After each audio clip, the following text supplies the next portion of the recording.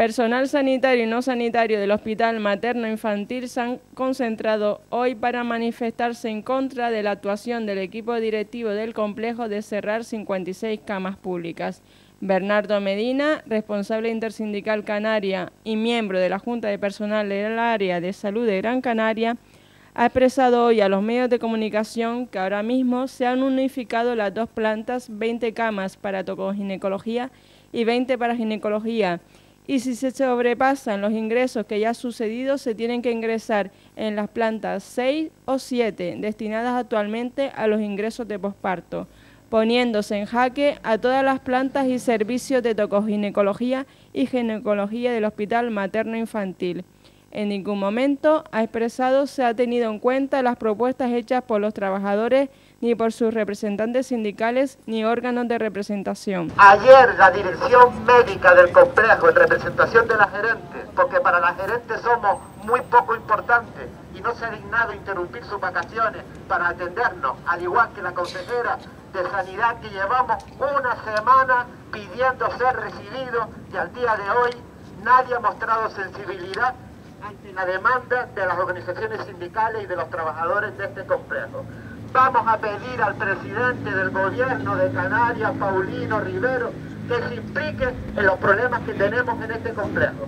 Ayer el director médico nos comunica que aparte de cerrarse las 40 camas, 20 de la 8, 20 de la quinta, y en una planta cogerla para oficina, la mejor planta del hospital, cogerla para oficina, para despacho de jefe, van a cerrar 16 camas entre las plantas 6 y 7. Es decir, que en total van a cerrar 56 camas, que significa cargarse el 35% de las camas públicas de atención obstétrica, ginecológica, de referencia regional, porque es un hospital que atiende también a la población de Fuerteventura y tiene una demanda de 500.000 mujeres al año para ser atendidas las patologías que tienen que ver con obstetricia y ginecología.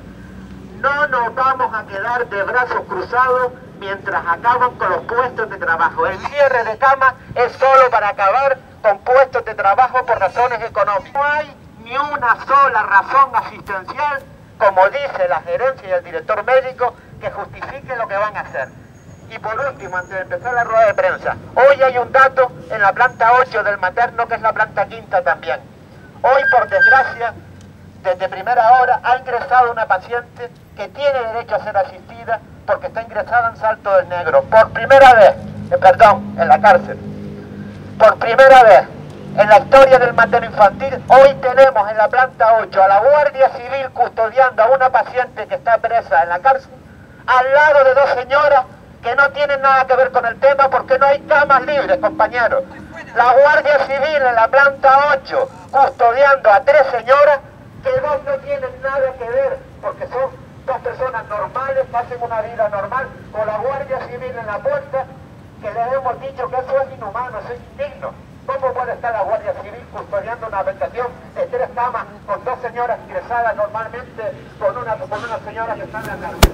Pues eso está ocurriendo hoy y eso se tiene que enterar el gobierno de Canarias. Yo ahora le voy a dar toda la información a los medios de comunicación de la reunión que tuvimos ayer todos los sindicatos del complejo con el director médico.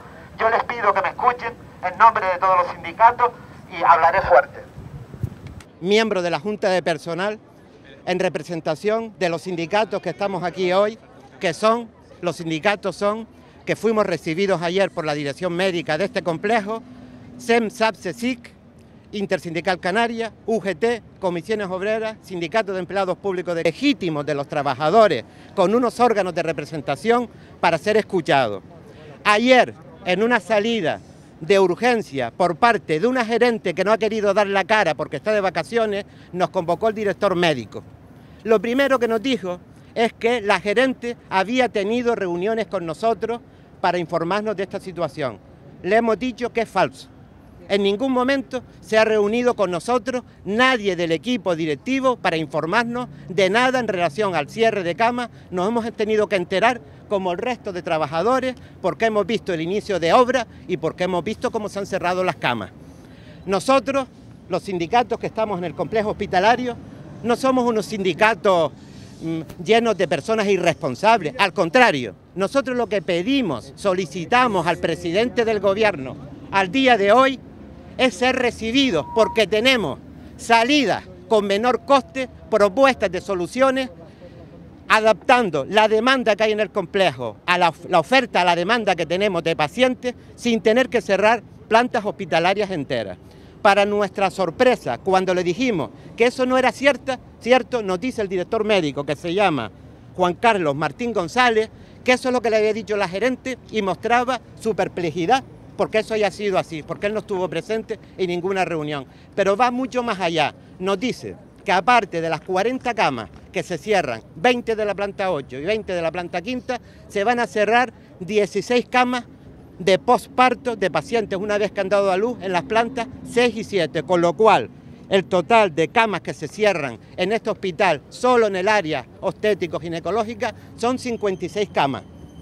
¿Para qué cierran las camas? Ellos lo disfrazan de calidad asistencial y es para ahorrarse presupuesto en la contratación de personal, porque más de 40 trabajadores y trabajadoras tendrán que salir de esas plantas y marcharse a otro servicio donde desplazarán por antigüedad, que no se ha negociado absolutamente nada, a otro personal hasta llegar a los más indefensos que son los incrementos de actividad, contratos que se hacen por mes, que se irán a la calle por una cuantía superior a las 40 personas. Es decir, no hay causa en estos momentos que justifique esta medida, salvo una medida de ahorro económico. Pero lo que más nos tiene indignado a la representación de los trabajadores, a los sindicatos, es que nos hemos enterado de todo por los pasillos, yendo nosotros detrás de alguien para ver lo que está ocurriendo. A nosotros esto nos parece lamentable y como les decía antes, hoy con 40 camas ocupadas en la planta 8, 20 de tocoginecología y 20 de ginecología, no hay camas libres, una paciente que ha venido con todo el derecho del mundo para ser atendidas en condiciones de dignidad como una mujer con una patología ginecológica, está siendo tratada indignamente porque está custodiada por la Guardia Civil en una habitación de tres camas al lado de dos pacientes que son dos pacientes normales que no han cometido ningún delito y cuando los familiares y los demás pacientes vean a la Guardia Civil en la puerta no sabrán diferenciar cuál es la paciente que ha cometido un delito o no. Eso es un trato indigno a las mujeres de Canarias que no vamos a consentir. Nosotros, después del periodo vacacional, los sindicatos que estamos aquí, tomaremos medidas drásticas sin descartar ninguna medida en contra de esta política que decimos del gobierno de Canarias. La gerente no ha querido dar la cara, no se ha querido reunir con los órganos de representación, no se ha querido reunir con nosotros. Vamos a perder en total 56 camas, es decir, que de 180 camas que teníamos en el área tocoginecológica, obstetricia y ginecología, de referencia provincial y en algunos casos regional, vamos a pasar a tener un 35% de camas. Y eso lo van a pagar trabajadores y usuarios. Medidas drásticas nos referimos a que nosotros ayer le hemos dicho al director médico que queremos ser recibidos con urgencia por la gerente, por la consejera de Sanidad y por el presidente del gobierno de Canarias, porque nosotros, como les decía, actuando de una manera responsable, estamos dispuestos a negociar el que la demanda, la oferta se adecue a la demanda. Eso estamos dispuestos a negociarlo, pero no cerrando plantas enteras. Es decir, a nosotros nos parece mucho más lógico, y así se lo transmitimos al gerente en funciones, que las camas todas las habitaciones de las cuatro plantas pasen de tener tres camas a tener dos camas. Nos parece una medida lógica y que equilibra la oferta con la demanda. Es decir, que no tendríamos provisionalmente, mientras no haya demanda, ocho camas por planta. Pero eso no lo quiere la gerencia, eso no lo quiere el gobierno de Canarias. Lo que quieren es cerrar plantas enteras para poder despedir al personal de esta manera, porque de la otra manera solamente pueden quitar a una o dos auxiliares, a uno o dos enfermeros, a uno o dos celadores. Y de esta manera eliminan a muchísimo más personal pagando las consecuencias de los pacientes. Aclaró que la planta 5 es para ingresos de patología durante el embarazo y que la planta 8 es para patologías, ginecologías y cirugía. Que existen alternativas al cierre de una planta entera con 40 camas, como era reconvertir todas las habitaciones de esas cuatro plantas que tienen tres camas en habitaciones con solo dos camas, para recuperar la patología de mama dispersa en tres centros hospitalarios. La drástica es que no descartamos porque otra noticia, otra información que nos da el director médico, que es el gerente en funciones, es que las obras aún, solamente ayer se tiró un tabique. ¿Saben ustedes cómo se tiró el tabique ayer?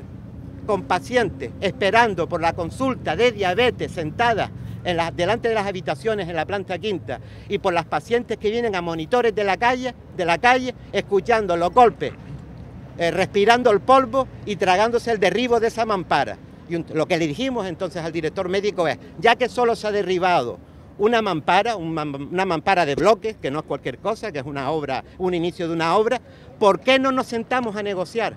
¿Por qué no hablamos y escuchan las propuestas que tenemos los sindicatos? Porque les quiero decir, y contestando a la periodista, porque no nos gusta dejar nada en el tintero, no descartamos después del periodo vacacional paralizar las obras encerrándonos los representantes de los trabajadores y encadenándonos en la planta quinta y en la planta 8, porque la planta 8 que es la mejor planta, con la mejor pista, como pueden ver ustedes, que se ve el castillo, que se ve todo, no quieren poner ahí las pacientes. ¿Saben por qué?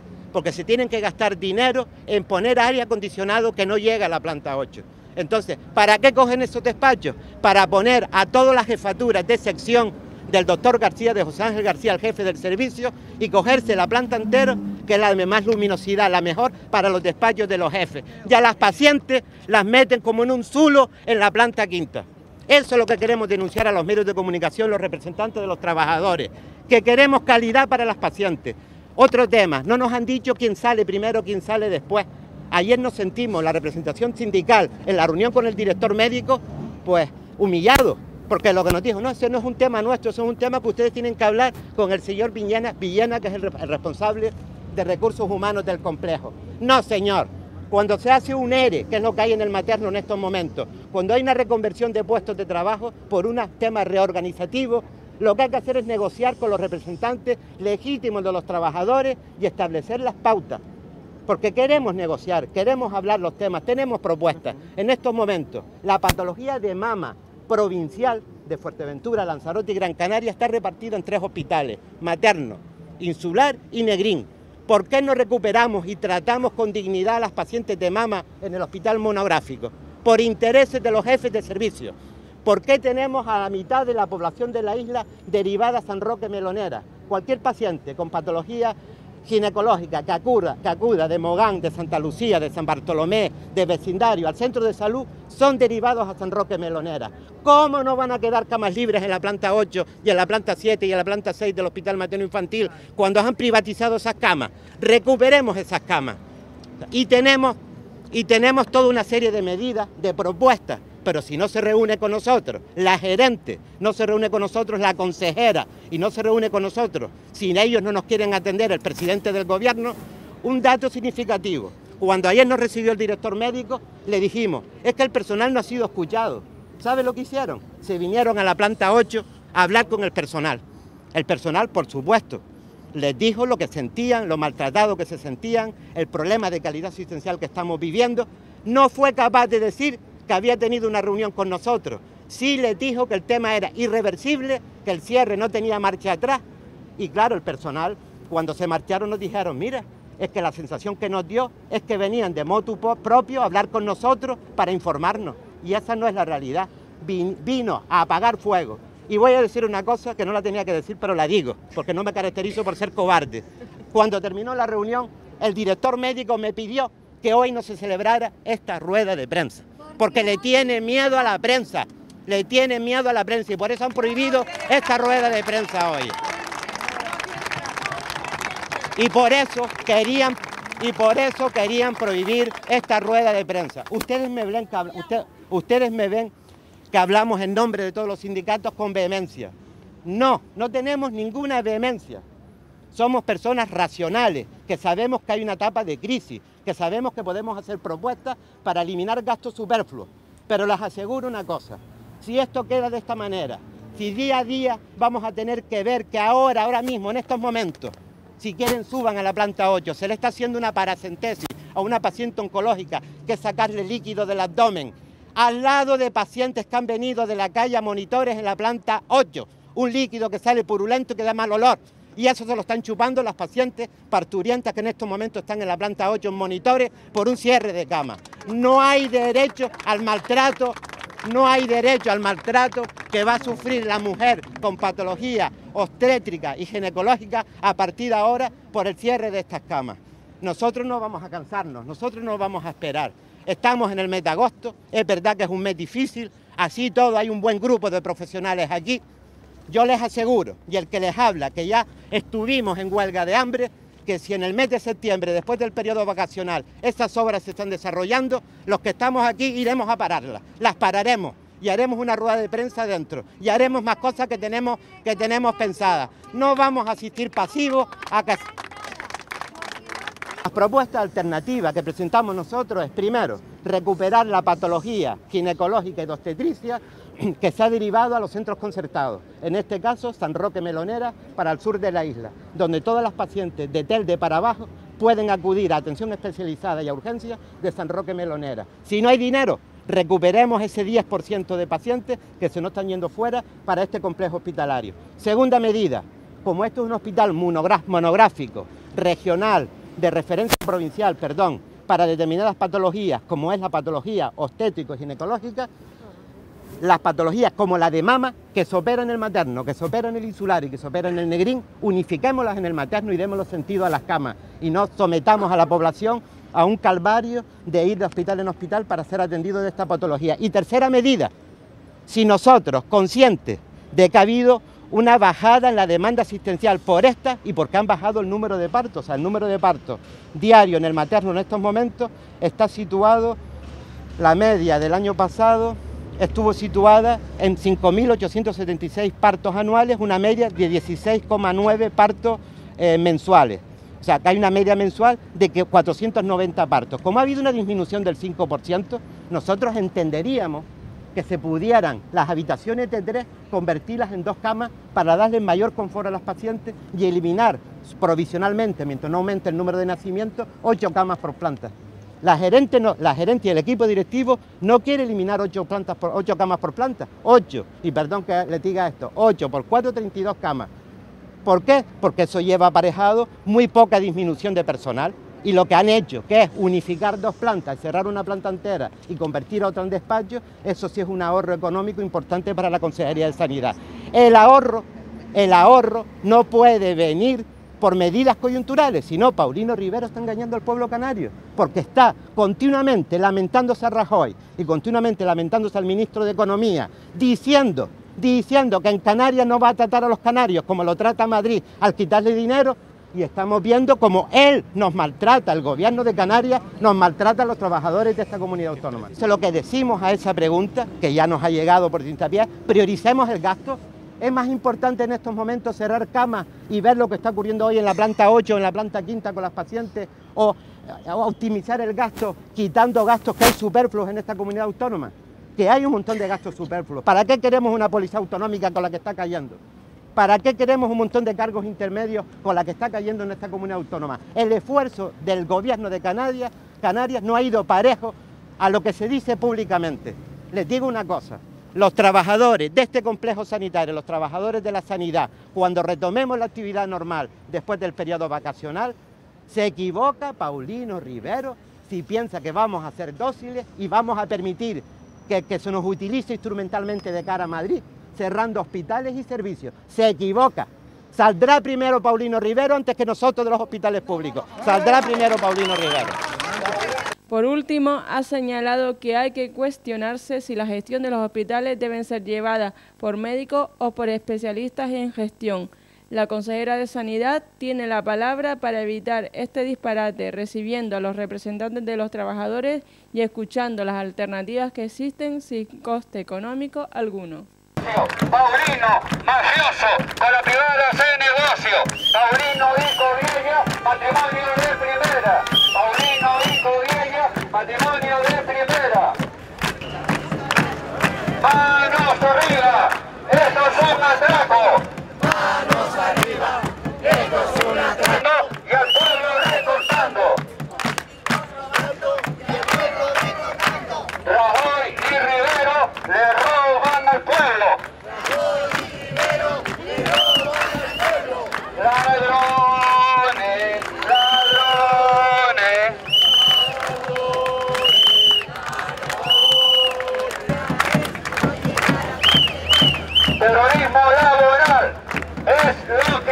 La mitad de los políticos, son un montón, fuera la mitad de los políticos, son un montón, sobra el Senado, lleno de vago, sobra el Senado, lleno de vago, 52 mil millones de euros al año, pan es pagar, pagar y pagar.